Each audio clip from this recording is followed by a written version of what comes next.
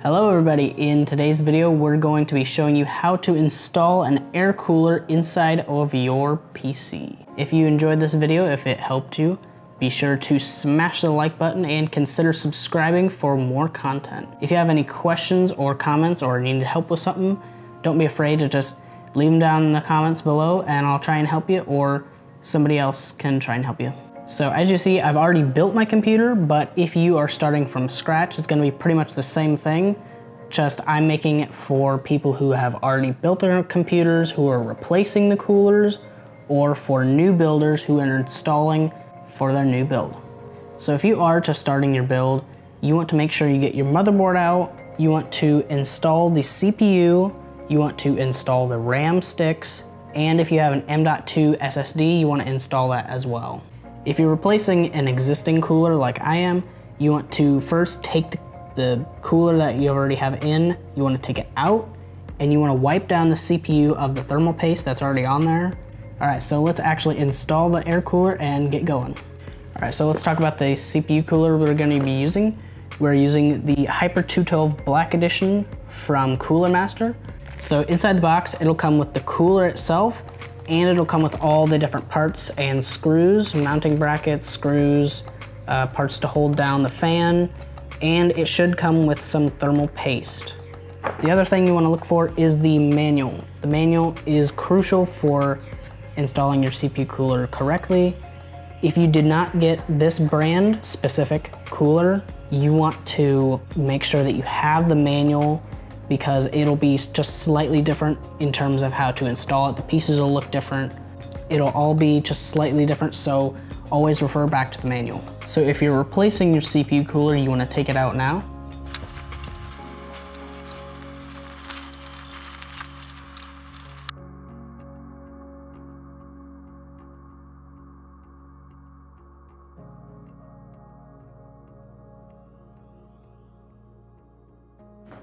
All right, so the first step in actually installing your cooler is to figure out the backplate.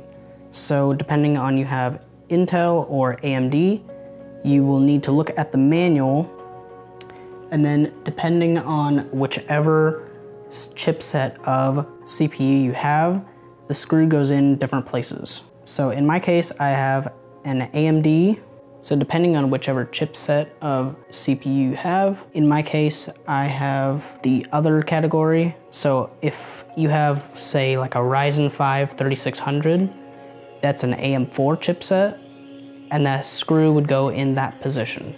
Anything else would go in the other position.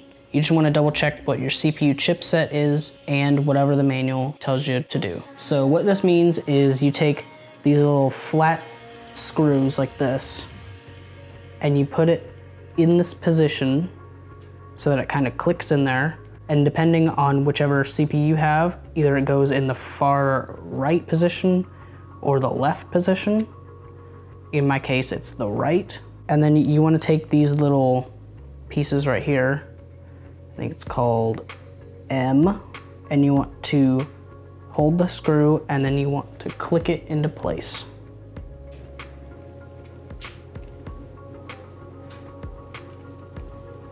So you wanna do that for all four of the bracket screws.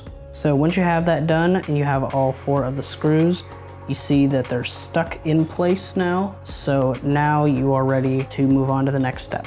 All right, the next step is to install the backplate on the back of your motherboard. So you see these four holes that you have and whichever orientation you have the screws, they should just slide right in, no problem. If they don't go in or they don't go the right way, uh, you want to check back in your manual and see that you did it right. Okay, once you have the backplate in, you want to take these little lock nuts, kind of like hexagon shaped nuts, and you want to screw them on to all four of the screws. And you want to screw them kind of tight because that's what holds the cooler on the board.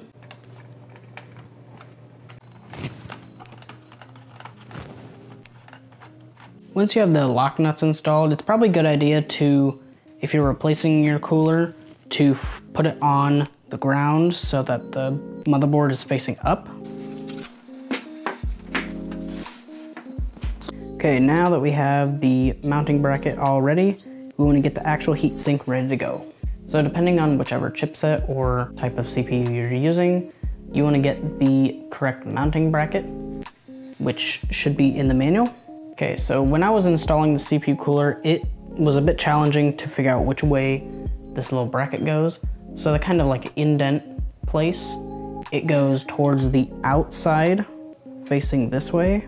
And it has to be just flush up and down. So while you're holding the mounting bracket in place, you're gonna take these little tiny screws and screw it into the bottom. You wanna screw it nice and tight.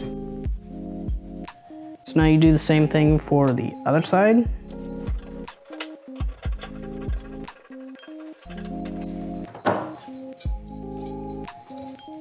So now you have both of the mounting brackets ready to go with the screws facing down.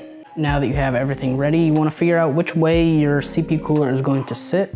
So you can see like the logo. The logo is gonna be facing up and down, just like that. And you would like your cooler, your fan, to be facing towards the inside. So it's gonna be going right over your RAM.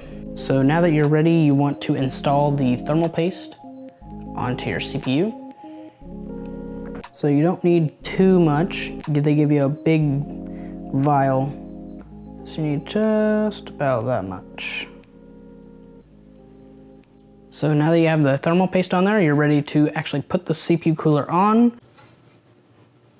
Just a little bit, give it a little smooshy smooshy. Then you're ready to screw down the screws. So you wanna be really careful when you are screwing down the bracket. So you wanna screw the screw, you wanna push kinda hard and make sure that screw is inside that lock nut. So I know it's in there. So now I would go to the opposite one, diagonal from it, screw it down a couple turns actually on either side. And then now you want to go to the other corner. Screw it a few times. Do you don't want to screw it super tight on one and then go to the other. You want to kind of do like a few turns on this side, a few turns on the corner, and then just rotate. And then just go back to the first one, screw it down a couple more times, go to the second corner, screw it down a couple more, Third one, screw it down a few more times. Fourth one, and screw it down.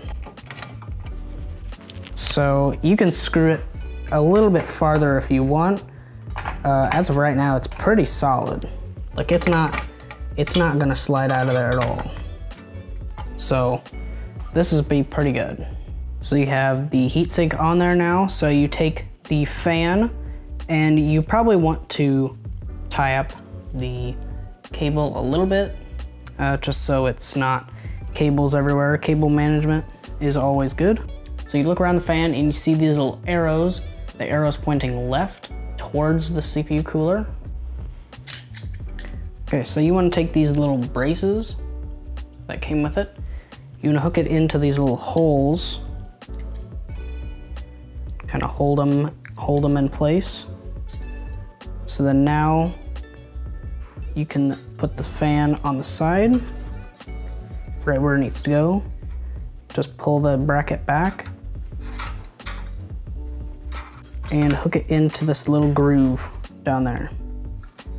So now it's hooked on this side, I'm gonna do it on the other side too. And you wanna make sure both of the sides of the bracket are in because it's easy for one of them to get out. So now that the fan is nice and snug, now that now we can take the cable and plug it into the CPU fan port.